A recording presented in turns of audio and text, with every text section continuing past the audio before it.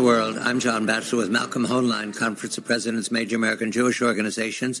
We're very pleased to welcome Dr. Alan Mendoza, founder, executive director of the Henry Jackson Society, who's going to help me understand the disorder reported from London's papers and throughout England into Cornwall, and I hear in the north of Ireland as well these last days. Um, mobs rioting, raucous, challenge to the police, violence, threats to immigrants, especially those living in hotels, threats to mosques, all of this having to do with misinformation, disinformation, and what you'd have to say is extreme hatreds. However, Alan, because labor is now overwhelmingly in charge, I ask labor's struggles these last years to rid itself of the Corbyn anti Semitism. Is that in any fashion connected to these anti immigrant riots we're hearing especially in the north of England, not in London, but in other cities. Good evening to you, Alan. Hello, good evening, John. Um, very tangentially connected. Look, the Labour Party of today, the Labour government, is totally different to the Labour Party of five years ago. You can see that by the fact that Jeremy Corbyn, who was leader five years ago, was purged from the Labour Party and now sits as an independent uh, in the House of Commons. And more on him in a moment. But the reality is, this Labour Party has, uh, you know, made anti-Semitism a priority, at least in terms of um, attacks on Jews. Its Israel policy is a little more um, suspicious, shall we just say? But these riots have nothing to do with that. These riots have been sparked by um, disinformation about the identity of a knife attacker in the north of England who uh, killed three young children.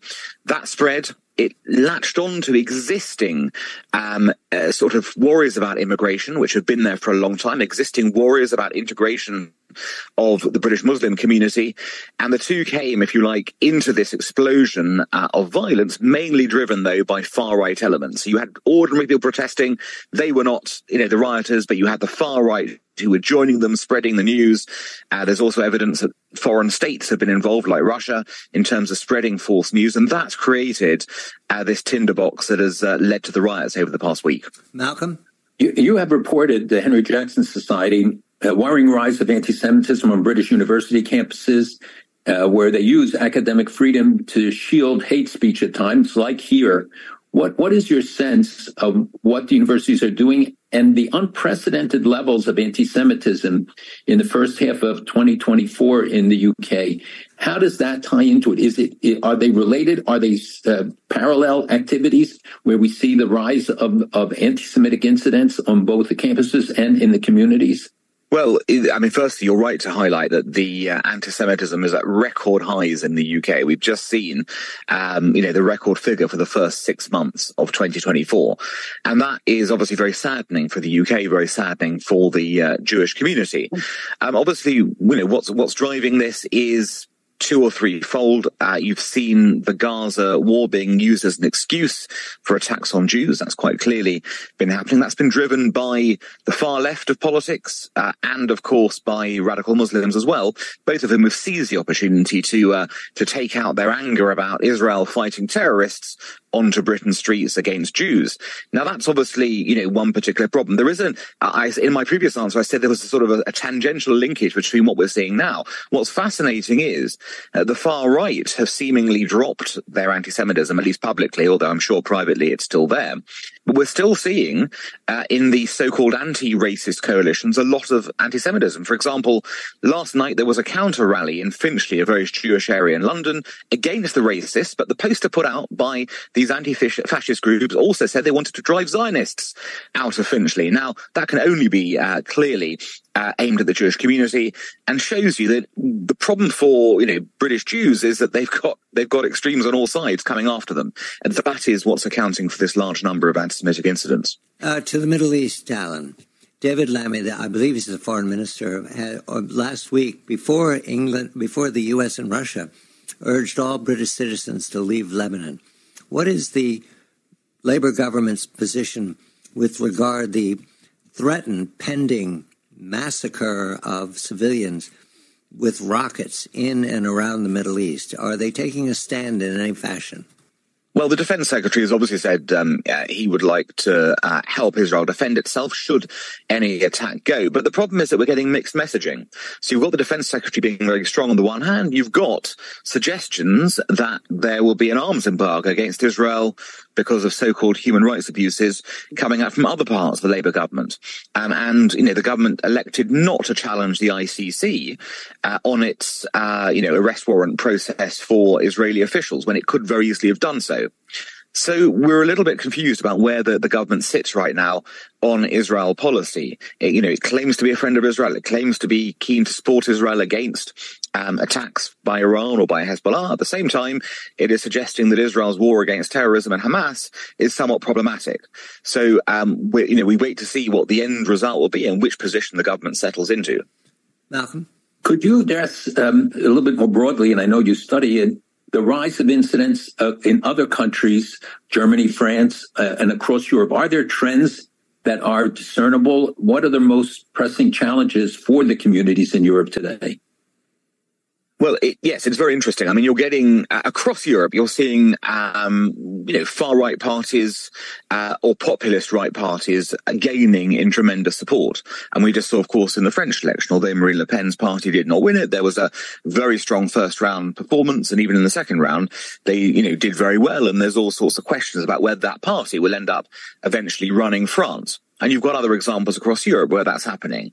So that traditional far right, though, has splintered into two. You've got the racist far right who are quite clearly still coming after Jews. Uh, you know, there are examples of those in each of the countries, but there's also a more populist far right that seems to be friendlier towards Jews, that recognizes anti-Semitism as a problem and is quite supportive of Israel as well. So that's, you know, on the right of politics, what's happening. And then, of course, you've got across Europe, radical Islam as a big problem against Jews, um, Jews coming under assault by radical Muslims. Um, and as that population grows and as the radical percentage grows with it, because integration has failed, uh, therefore, you're going to see more attacks of that nature. And then you've got, if you like, the wokest hard left as well, who are also um, against Jews. And you can see that, of course, under the guise of Zionism, but it's actually naked anti-Semitism once you strip it apart. So in reality, there are some very worrying trends across Europe. It's not simply Europe, it's across the Western world as well. And I don't think the US is necessarily immune to all of these, as we've seen in, in recent years as well. Alan, Sadiq Khan, I believe that's the mayor, Lord Mayor of London, has said in these the last, mayor, the mayor, mm. the mayor uh, has said in these last hours that he does not feel safe in England, and that's why he has bodyguards. Is that a measure of something that's deteriorated recently, or was it always that fa- that fact? No, I haven't seen his comments, but I'm going to take it at face value that that's how he's put it. Um, it's it's deteriorated. It has deteriorated. I think that's twofold, though. I think he's probably speaking both as a prominent politician, and we've seen political violence in the UK in the past few years on a on a hitherto unknown scale. We've seen politicians assassinated. We've seen uh, threats towards politicians. So, as a prominent politician, I can see why he would uh, perhaps feel that way. And as a prominent Muslim politician, you know, we have to acknowledge there are far right people out there who, who have shown that they want to attack Muslims and kill Muslims as well. And I therefore suggest that in, on both counts, uh, the UK has deteriorated, both in terms of political discourse and safety of politicians, and also in terms of inter-community relations. And it's very problematic that this is happening uh, in 2024. I just I want to char- characterize my question. Beg pardon, Alan, for not reading. This is the Telegraph reporting. And the quote they're using is, I'm not safe as a Muslim politician, says Sadiq Khan. That's a paraphrase. But that's where I, my question came from. Malcolm? Yes, yes very quickly. What What is the impact of the ICC and ICJ rulings? Do, will, do you think England and others will really issue or honor re, uh, arrest warrants for Israel's leaders?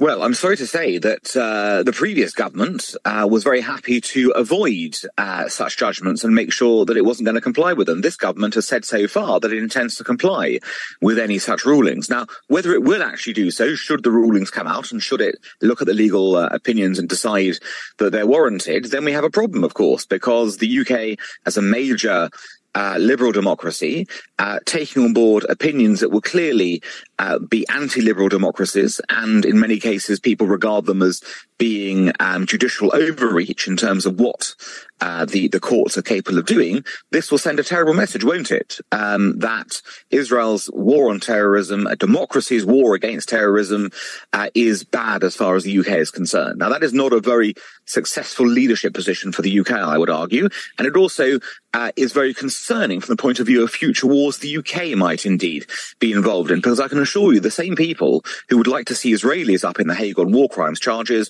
would be very happy seeing British soldiers and British politicians and American soldiers and American politicians up the next time they have to take action to defend their homelands too. Alan Mendoza of the Henry Jackson Society, Malcolm Hoenlein, I'm John Batchelor.